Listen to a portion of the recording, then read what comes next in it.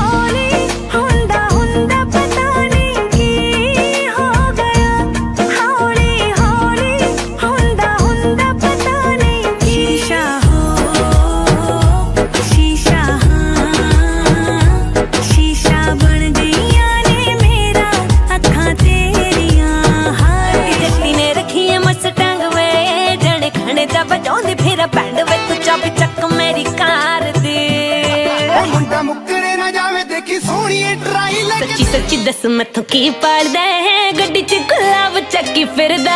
ਗੁਲਾਬ ਨਹੀਂ ਹੋ ਕੱਲਾ ਤੇਰੇ ਪਿੱਛੇ ਗੋਰੀਏ ਮੈਂ ਤਾਂ ਸਿਰ ਤੇ ਪੰਜਾਬ ਚੱਕੀ ਫਿਰਦਾ। ਸੱਚੀ ਸੱਚੀ ਦੱਸੀਆਂ ਕਿਉਂ ਪੀ ਲੈ ਸੋਹਣਿਆ? ਕਿਉਂ ਪੀਣਾ ਮੁੱਲ ਦੀ ਵੇ? ਵਿਸਕੀ ਦੀ ਬੋਤਲ ਵਰਗੀ ਤੇਰੇ ਤੇ ਡੁੱਲ ਗਈ ਵੇ। ਵਿਸਕੀ ਦੀ ਬੋਤਲ ਸ਼ਰਾਬ ਦੀਆਂ ਦੋ ਬੋਤਲਾਂ